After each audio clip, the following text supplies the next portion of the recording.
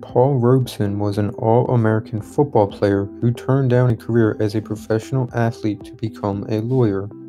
He attended Rutgers University, making him only the third African American to do so. After he graduated, Robeson went to Columbia University to get a law degree, but racial strife ended his career early. He was finally able to find an appreciative home for his talents as he drifted into the film industry. Robeson was an exceptional singer and actor, which got him star roles in plays like Othello and The Emperor Jones. Robeson was the first African American to star in Othello on Broadway and established himself to be one of the most important musical and dramatic performers of his time.